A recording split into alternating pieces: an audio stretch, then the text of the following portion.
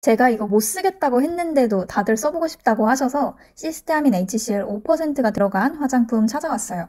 첫 번째 시스페라 크림. wash-off팩처럼 사용하는 크림으로 cysteamine HCl 5%와 비타민C 유도체를 함유한 제품이에요.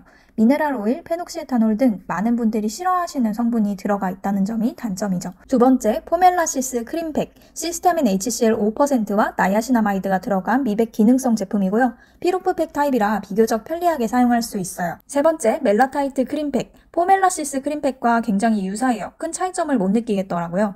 이렇게 세 가지 제품이 모두 피부과에서 판매 중인 제품이라고 하는데요. leave-on 제품이 아니라서 cysteamine HCl의 냄새를 잠시만 참으면 된다는 것이 장점이지만 가격대가 상당히 비싸고 요즘 많은 분들이 선호하시는 EWG 그린이라던가 이런 느낌의 전성분 구성은 아니라는 점이 조금 아쉬운 것 같아요. cysteamine HCl 성분이 좀 더 대중적으로 사용되게 되면 좀 더 다양한 제품이 나올 텐데 과연 그렇게 될지 궁금하네요.